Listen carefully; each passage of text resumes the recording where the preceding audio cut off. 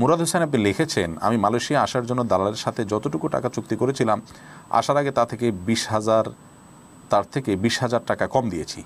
বলেছি, মালয়েশিয়া গিয়ে দেবো। আসার পর দেখি সে যে ধরনের সুযোগ সুবিধার কথা বলেছে, তার বেশিরভাগই মিথ্যা। তাই যে বিশ হাজার টাকা আসার পরে তাকে দেওয়ার কথা ছিল, সেটা দেইনি। এতে কি আমার গুণা হবে?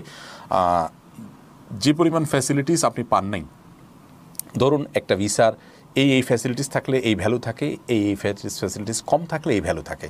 তা আপনি যে ফ্যাসিলিটিস পেয়েছেন, এটার সাথে তার যে কমিটমেন্ট ছিল, তার গ্যাপটা কি মূল্যের?